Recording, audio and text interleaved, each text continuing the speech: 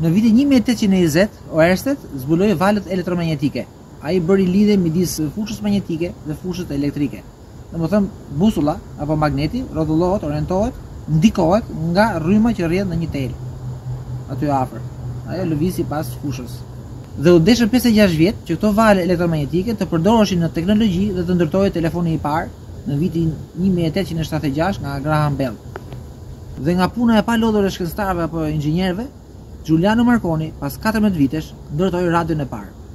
Tridhjetë e shtatë vjet më vonë, në vitin një mijë e nëntëqind e njëzet e shtatë, pas shtatë vitesh punë e kërkim, Philo Farnsworth ndërtoi televizorin e parë.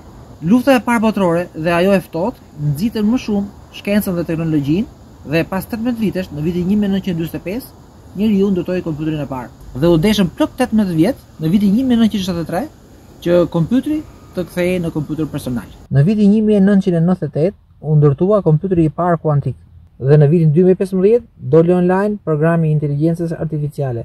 Në qoftë se bashkojmë kompjuterin kuantik me inteligjencën artificiale, ne formojmë një mekanizëm që i ngjan shumë specieve të gjalla, apo dhe vetë njeriut.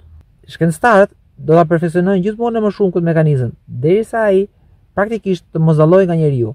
Dhe atëherë, Kjo lloj makinerie do të jetë e ndërgjegjshme, e gjallë